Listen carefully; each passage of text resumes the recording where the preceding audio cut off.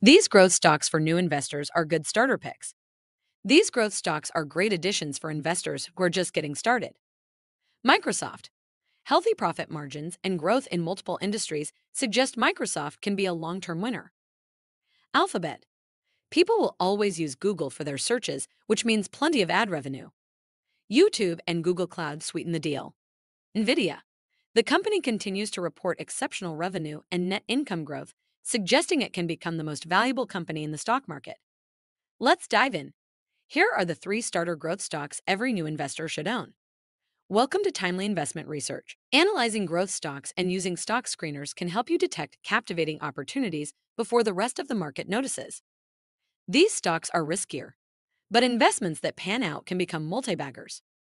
Not everyone wants to do the research associated with finding the biggest winners. Some investors want to get started with growth stocks with histories of winning and generating reliable returns for long term investors. Those looking for growth stocks for new investors might want to start here. Number 1. Microsoft. Microsoft is a great starter growth stock due to its long term growth and numerous business segments.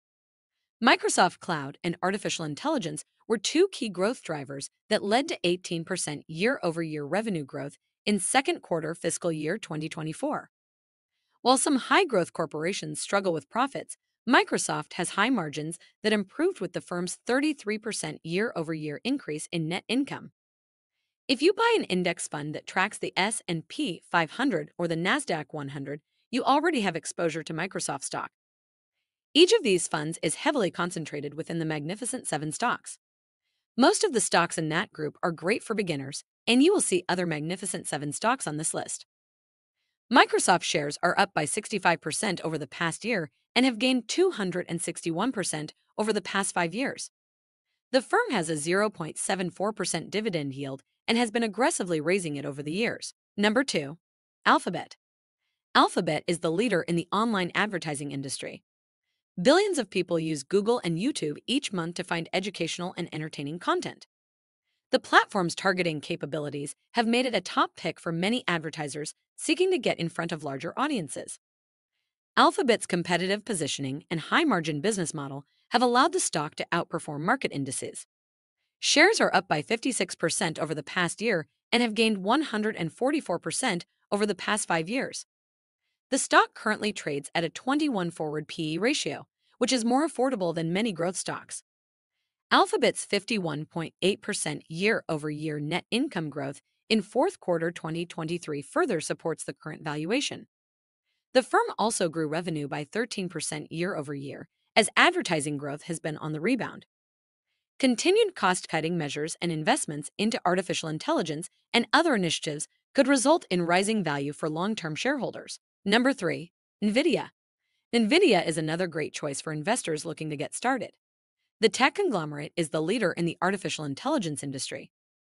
Its GPU chips power many AI tools, and NVIDIA has most of the market share in this high growth industry. Despite a 237% gain over the past year, NVIDIA still has a reasonable valuation.